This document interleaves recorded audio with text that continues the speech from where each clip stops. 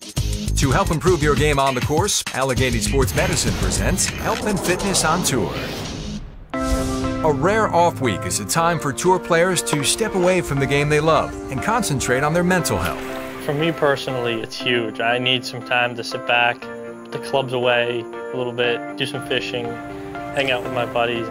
While many take to hobbies, most pros enjoy spending quality time with their families.